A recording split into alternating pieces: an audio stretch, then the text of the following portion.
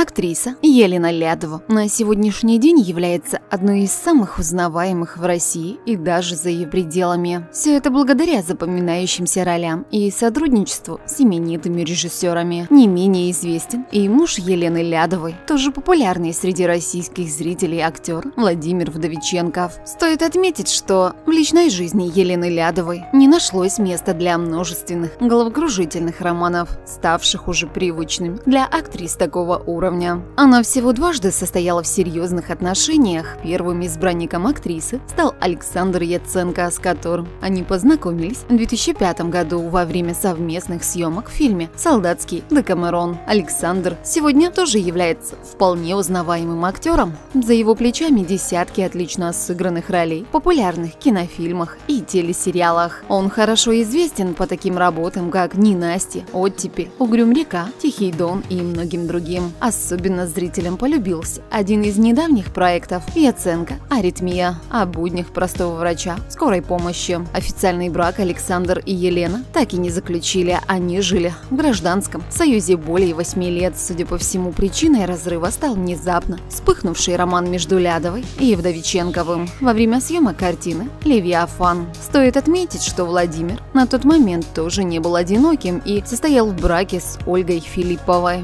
Так влюбленным пришлось разорвать свои прошлые отношения и уже тогда начать жить вместе. По признанию актрисы, появление в ее жизни нового мужчины полностью изменило ее личную жизнь. Эти отношения оказались для пары идеальными. Даже их совместная игра в фильме «Левиафан» казалась чем-то особенным, словно они не играли даже, а по-настоящему примеряли на себя связь между их персонажами. Интересно, что по сюжету фильма герой Вдовиченкова пытается увести героиню Лядовой и из ее семьи фактически точно так же события развивались у них и в реальной жизни. Очень скоро влюбленные сообщили об их помолвке. Поклонники с нетерпением стали ждать их бракосочетания и гадали, какой будет свадьба Елены Лядовой и Владимира Вдовиченкова. Но оба они отличаются скромностью и стараются не выставлять свою жизнь на всеобщее обозрение. Именно поэтому их свадьба, состоявшаяся в 2015 году, прошла в тайне ото всех и лишь при